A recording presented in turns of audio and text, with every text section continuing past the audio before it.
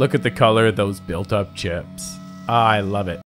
I was talking to Eric Moeller from GARR today, and I was asking him what solutions he actually sees making a difference for the companies he works with, as he covers a much larger area than I currently do. He shared that the VX7 is making a huge impact on the customers he has, and I have a video queued up. I also just want to take a moment to acknowledge Eric for letting me know what's actually out there and working. Part of manufacturing that works is having partnership throughout your supply chain, and this is how I work with the people to bring you the solutions that matter. Garr Tool is one of those companies that's owned by one single human being and they focus on their specialty solid carbide round tools. With an average fill rate of 99.8% it makes a huge difference because i know when eric says this tool's working that it's there and i can have it next day if necessary. All right let's watch it rip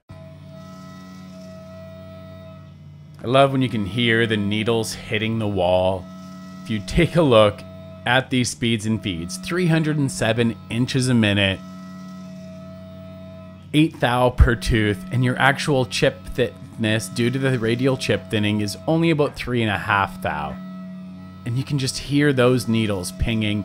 Watch that color as it comes off. And of course, the material's P20 tool steel not the easiest material to be cutting. Solid submicron grade carbide end mill, non-center cutting, engineered for dynamic milling, multiple flutes for increased feed rate, staggered flute geometry, and it's effective in trochoidal milling. If you check out the technical data available on that, I love the way that they break down all of this right here above my head, where they actually give you all of the labels and I mean, this might seem like a small thing, but I work with so many suppliers and they actually have all of the fields here that you see up there. They also give you the US list price so you have a rough idea of what you're looking at before you ever ask for a quote. They start all the way down at 315 or 8 mil and go all the way up to 1 inch. The delight of working with Garr Tool is that 99.8% fill rate. With the over 5 years that I've been working with companies